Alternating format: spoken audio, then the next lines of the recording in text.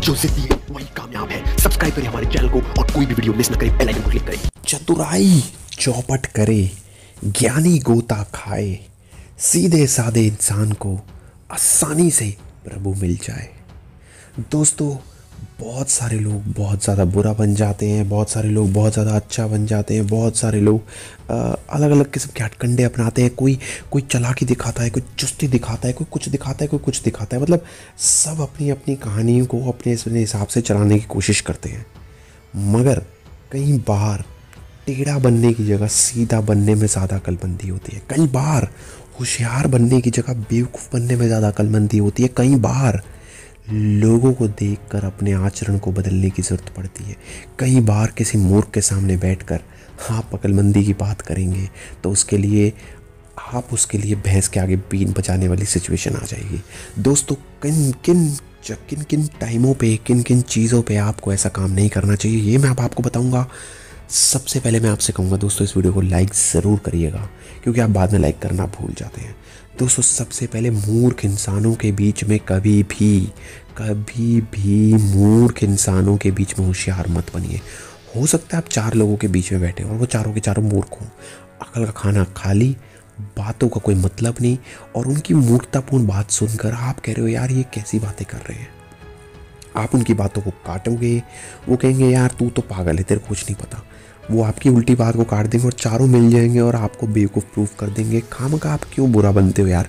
देखो दोस्तों, ज़िंदगी में कामयाब होना है सक्सेसफुल बनना है तो मूर्ख इंसानों के मुँह कभी मतलब हो और ये आचार्य चाणक्य जी भी कहते हैं कि जहाँ मूर्ख लोगों की टोली हो, वहाँ पे कभी भी होशियार नहीं बनना चाहिए। जो आदमी ज़्यादा होशियार बनता है, उसी को फिर लोग आगे कर देते, चल तू ही कर ले, अब काम एक काम कर, सारे कर। दोस्तों, दूसरी चीज़, दूसरे तब आप होशियार नहीं बनना चाहिए जब आप किसी नई जगह जाओ।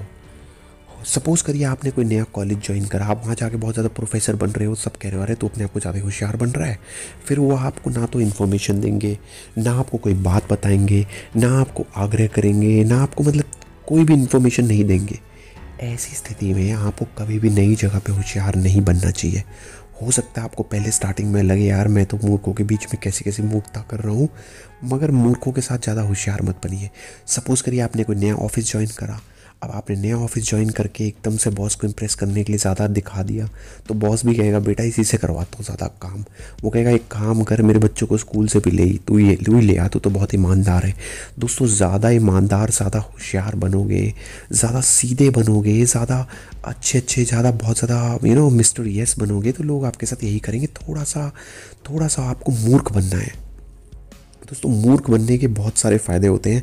लोग आपको बेवजह इस्तेमाल नहीं करते और मूर्ख इंसान को लोग अक्सर प्रवचन देने में बिलीव करते हैं। आपको सारी इन्फॉर्मेशन मिल जाएगी, आपको ज्ञान बटोरना है और जब आपके पास ज्ञान होता है तो निश्चित तौर पे आपको एक तरीके से आसानी मिलती है, सब आपको सिखाते हैं, आपको अच्छा लगता है। तो दोस्तों, आपने देखा होगा दोस्तों, आप कभी कोई मैच देखिए क्रिकेट का, कोई टीम हार भी रही होगी ना बहुत बुरी तरह तो आपको लगेगा यह हार रही कितनी बुरी तरह बेचारे हार रहे हैं, काश ये जीत जाते। दोस्तों, ये एक ह्यूमन टेंडेंसी है। हारते हुए इंसान को लोग मन में सोचता है कि यार, एक जीत ज़्यादा काश। तो ऐसी सिचुएशन में आपको ये नहीं दिखाना कि आप बहुत ज़्यादा हीरो हो। अगर आप हीरो बनोगे तो लोग आपको लूज़र प्रूफ करके ही मानेंगे। थोड़ा सा मूर्ख बनिए। दोस्तों, तीसरी सिचुएशन वो तब होती है जब आप कुछ टाइम सीख रहे हो। हमारे बड़े बुज़ुर्ग हमारे बड़े कोई घर के बड़े पापा मम्मी को जब हमें सिखा रहे होते हैं। हो सकता है टेक्नोलॉजिकली आप उनसे ज़्यादा जानते हो। हो सकता है पीढ़ी वाइज आप उनसे ज़्यादा जानते हो बट ओवरऑल लाइफ का जो तजुर्बा है, वो उनका निश्चित तौर पे आपसे कहीं गुना ज़्यादा होता है।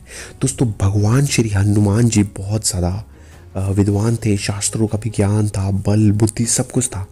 मगर फिर भी जब उनको लंका पे चढ़ाई करनी थी, जब उनको समुंदर लागना था और इतना बड़ा समुंदर लागना था तो अपनी शक्तियाँ भूल चुके थे। ऐसी सिचुएशन में उन्होंने बड़े बुज़ुर्ग जामन जी से ही पूछा कि मुझे अब क्या करना चाहिए? तो जामन जी ने ही बताया कि आप अपने श्राप की वजह से अपनी शक्तियों को भूल गए थे। आपकी शक्तियाँ अगर याद दिलाई जाए तो आपको याद आ सकती है, हनुमान जी।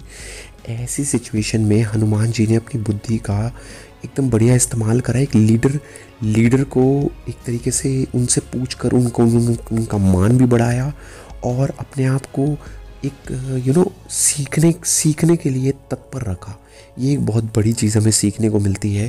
तो अगर आपको ज़िंदगी में कामयाब बनना है तो सीखने के लिए तैयार रहिए, ज़्यादा विद्वान ना बनिए, थोड़ा मूर्ख बनकर चलाकी से अपने काम को निकलवा लीजिए। ज़्यादा ज़्यादा आप ज़्यादा होशियार बनेंगे तो कोई आपको कुछ भी नहीं सिखाएगा। दोस्तों, इस वीडियो को लाइक ज़रूर करिएगा। कमेंट बॉक्स में बताइए कैसा लगा। जय हिंद वंदे मातरम।